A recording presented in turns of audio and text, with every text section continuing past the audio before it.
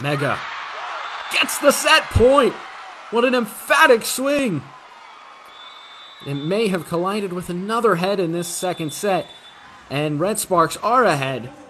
25 23 in the second set. They have the 2 0 advantage against GS Caltex.